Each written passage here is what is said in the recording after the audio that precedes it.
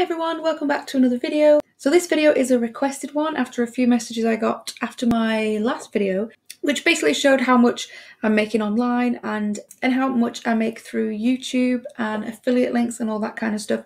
And after that, quite a few people were interested in starting a YouTube channel or boosting their income from their YouTube channel because my channel is like small, you know, in the grand scheme of YouTube, it's tiny, but I do make quite good money from it, you know, considering the size of it and the fact that I do, do, do, do, and the fact that I do, do all of YouTube.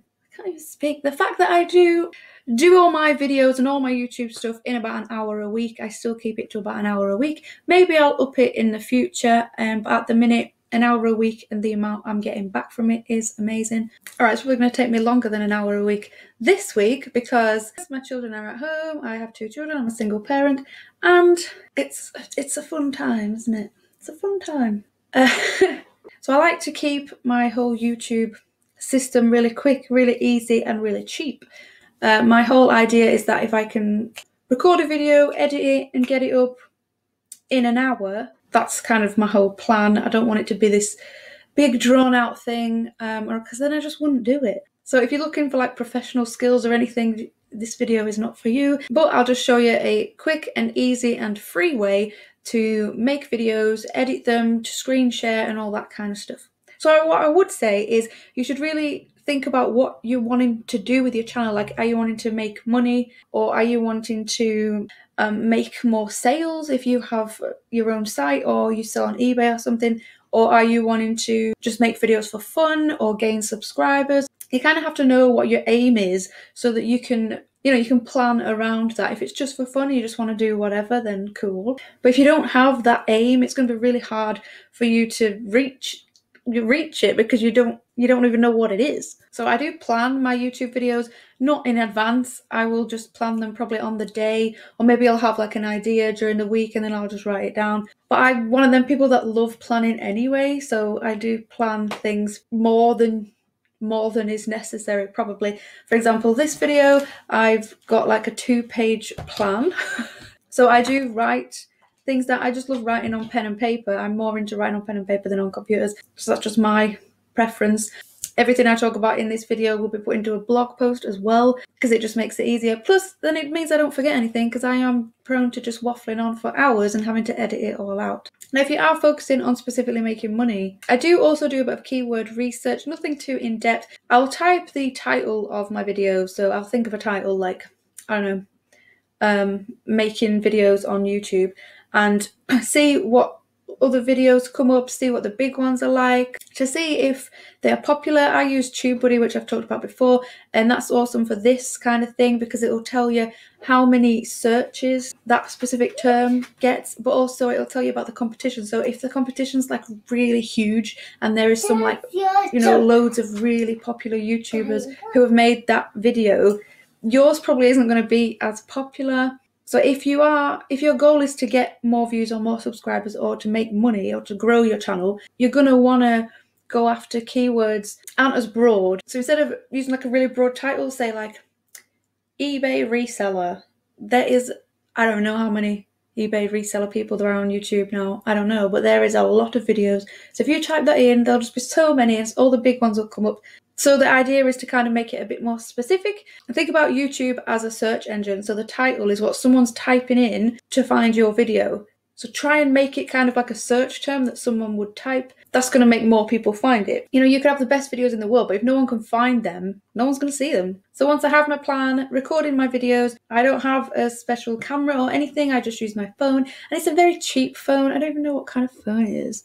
I've had it a while. Um, it's nothing special. It's not like an iPhone or anything like that. Um, but it does the job. I don't need anything better than this. I don't think for these videos. So I really wouldn't say go out and buy like a flash camera. Just use what you have. Pretty much everybody's got a smartphone, and that's perfectly adequate. I did get a new microphone not long ago because the microphone on my phone is actually really bad and it's really crackly. If you have a better phone than me, which you probably do, uh, the microphone is probably suitable. It's probably fine. The only thing that I would say is important is lighting. So I use this ring light, which I love actually, but I got it to actually use to, um, for eBay pictures. So I got it for photography reasons, but it's also got like a little thing in the middle which you can put your phone in. It came with a few little tripods, so there's some mini ones, which is cool because this just sits on my desk. But I also have a big one like this. Um, which it can sit on the top of, so it's really handy. Obviously, if you can't afford a light, don't worry about it, just sit in front of a window. But I think it just looks so much better, like I'll show you, like with the light off you can totally see it. Look at the bags under my eyes. but with the light on, they disappear. It's magic. If you follow me on Instagram, if not, the link is in the description. If you go onto my Instagram bio, is that what it's called? uh, and click on it, there's like some links, and Amazon storefront is where I just link to all the stuff that I use and talk about just because people ask like where'd you get this? Where'd you get this? It's pretty much all from amazon. And these are the new lights that i just got that i absolutely love. They were was it 150 but look they are so cool. They have like little screens on the back where you could change things on it. They're so cool. I love them. So i may start using them. But obviously you don't need anything like that. Right, next is my microphone. Like I said, I think light and sound is, is important. Uh, there's my microphone. It was 45 quid, alright, so it wasn't that cheap. It's £45, but I like it and it's pink, so it looks cool. Oh, rose red, actually. Well, yeah, but I think any microphone will do. The next thing I use is a free screen recorder, I guess you would call it. What even is it? Screencastify. Screen video recorder. Yeah, it's just a Chrome extension. Sometimes I use a Chromebook for recording screens and doing screenshots and things like that. You just get this little extension in the top and you just click it and it can record your screen or just the tab or whatever. Then it saves right to Google Drive. So once I've finished recording on here, that automatically saves to Google Drive as well, which I find is the easiest because then you can get it from anywhere, like or whatever device you're using. You can just go to Google Drive and download it to whatever computer or laptop or tablet you're using. So then they're all in Google Drive, then I'll download them. The editing software that I use is called Filmora by Wondershare. So I specifically got Filmora because it was free and you can use it for free the only thing with the free version is it has the watermark on the screen, like at the bottom somewhere, which really isn't a big deal if you're just, you know, if you're new or just starting YouTube or anything, that really isn't a big deal. But to get rid of the watermark, I think I paid something like £30 a year, but it's so worth it because it's so simple and so easy to use. So I have Filmora 9, but there is a Filmora Pro, I believe there's Filmora X, I don't really know what that is. But Filmora 9 I think is more for like beginner to intermediate video people. So this is an example of one of my videos. Looks complicated, really, really isn't. You just upload your files into there, drag them literally just one by one into the bar.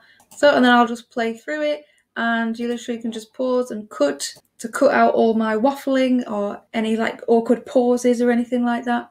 To add in the screenshots or the screen share that I did with that Screencastify, you just again upload them into here and you just literally drag them into there. And then once they're there you can like move them around. And it's so simple because i am not uh what's the word? I'm not like technically minded. So if i can do that and add in screenshots and screen shares and stuff you can easily do it. Now the filmora pro i think is more like intermediate to advanced or expert. So if you're like making videos that are supposed to be you know, really beautiful, or like you're going driving around some really nice place, or like travel vlogs and stuff, you might want to get more of a pro version because they have tools that more like color correction and things like that, which will be important for travel style videos. But if you're just doing videos like me, where you're kind of doing how to's or sharing screens, the Filmora 9 is perfectly adequate. I mean, I don't use half of the tools on here and I, I love it. I find it really, really easy to use. And yeah, I'm sure it was £30 a year which is bargain, I reckon. And then literally once it's done, you just press export and it will save to your computer. Then you can just upload it directly to YouTube. Now for thumbnails, I just use canva.com because it's free and it's awesome. I upload screenshots to add in. They have all these awesome templates that are free to make it look cool. Uh, everything that's free will come up with free when you hover your mouse over it, so just be careful about that. But yeah, you can add in text, you can add in like little pictures and shapes. And they have all kinds of photos and videos and, and again bargain because it's free and it's online so you can use it on any device. Uh, the thing that i have found that i am going to start paying for because i think it is worth it is this background remover. Now this is going to be more handy for if you're selling online. I'm building a website up at the minute for my um, vintage clothes. So I want the pictures to be really good. And if you've ever tried using the background remover on eBay, you know how bad it really is. Uh, but this background remover on Canva is just awesome. And there is a free trial, which is what I got, which I'm in right now. I think it's 30 day free trial just to test it out. Uh, and I've tested it on all different kinds of pictures and it's just really good and really easy to use. There is a monthly cost after the free trial. I don't know how much it is, but it's going to be worth it for me anyway because I, I use a lot of photographs and I want white backgrounds and I want them to look good. eBay doesn't really matter a huge deal about the white background, but it would be nice for some of the, you know, some of the higher end things that I sell and for Etsy, I think their photos are really important. But I have also started using it on my thumbnails and I think they look really cool just makes it look that little bit more professional. And then when you upload it to YouTube, you have the option to put in all the tags and the description and everything like that.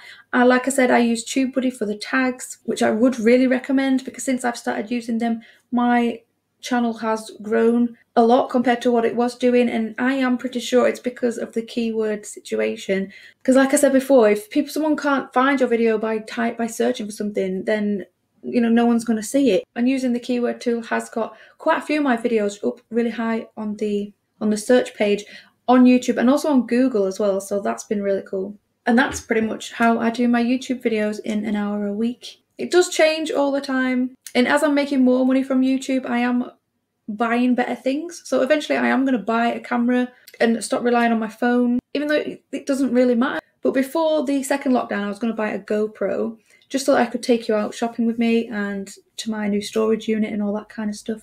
And I just wanted a GoPro anyway because they're awesome. And I still live near the Lake District. And I just like one, you know, to put on my car and like drive around some really cool places just to make some cool videos like that. And a GoPro would be awesome for that because they have the like stabilizer thing but then the second lockdown came and I just thought, I'll just wait a bit because it's like a few hundred quid. So, but I can use the money that I make off YouTube to buy it. So that's really what I'd recommend doing is wait till you've got some money coming in to upgrade. But if you are wanting to buy something to make your videos better, I really would suggest lights or microphone.